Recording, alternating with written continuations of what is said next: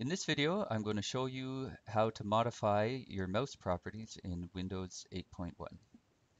So at your start screen, click on your desktop and then go to the bottom right hand corner, bring up the charm bar and at the very bottom with the gear icon where it says settings, click there and then go up and click on control panel. Now in your control panel, if you don't already have it set, go to the top right hand corner where it says view by and select small icons from the drop down menu. All right.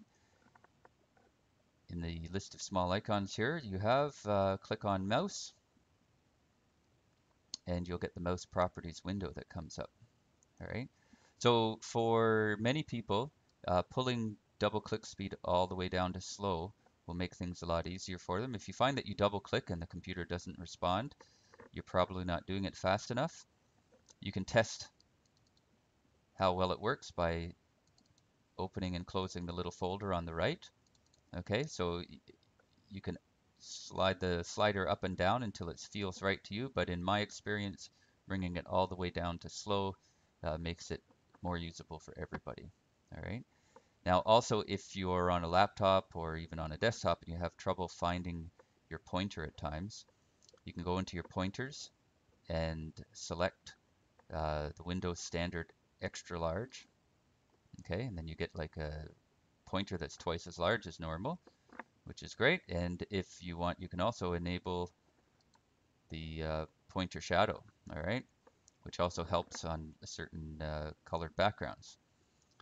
We also have pointer options here. If you find that your pointer slips back and forth on the screen too fast, you can slow that down. And of course, the opposite, if you find that things are going way too slow, you can speed it up by pulling it further toward fast. All right. There's other options here, uh, such as pointer uh, trails, okay, which basically repeats it on the path behind where it's moving. Uh, I personally find that annoying. I'm, I'm not going to set that up here. Um, you can choose to hide or not hide the pointer while typing.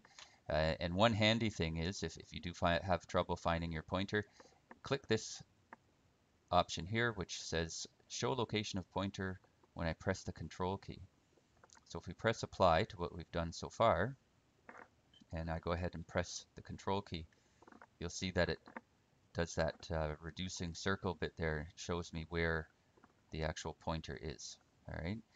And of course, we have some wheel options here telling the computer how far you want it to scroll when you scroll your your wheel. And uh, the last thing is a bit of hardware.